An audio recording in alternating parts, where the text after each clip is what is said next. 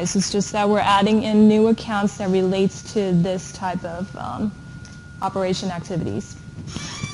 So this is a general operating cycle. We know what an accounting cycle is, but in terms of how the products flows into the business, how the products flows out to customer, this is the general operating cycle.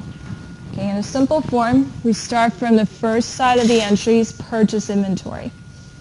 Okay, so today you'll be introduced to you'll be introduced different cases under purchasing inventory. As I mentioned earlier, some of the freight charges, discounts, returns. How do we take care of those in the first side of the, end, the cycle?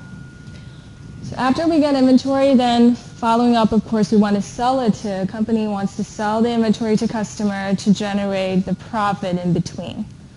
So in the beginning when you purchase something, you have the cost that you spend, the money that you spend, uh, that you pay to the wholesaler, pay to supplier for the goods. Then you immediately resell it to customer and generate the difference amount, the profit in between.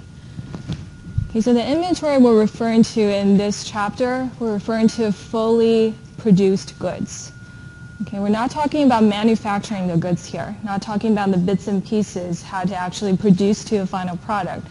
The inventory we're dealing with in this course throughout the entire semester, we're dealing with ready produced products, readily finished, and is ready for customer to purchase. Okay, and managerial accounting in another course, you'll be dealing with how to take care of the materials, how to take care of the labor costs. Those relates to the business that you actually produce and manufacture the goods.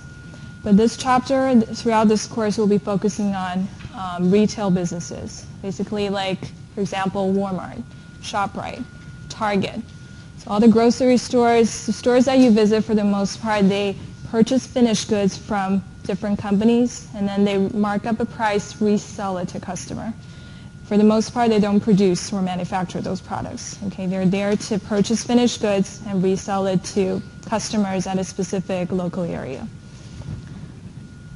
Okay, so after selling the inventory, then of course it's either company either collects cash or accounts receivable. If it's accounts receivable, then later on, within a month or so, um, company will be collecting cash based on those. Okay, so then again, you have the cash. Company will purchase more inventory, market the price, sell it to customer, then get cash again. So this is the general operating cycle. Now, if we move on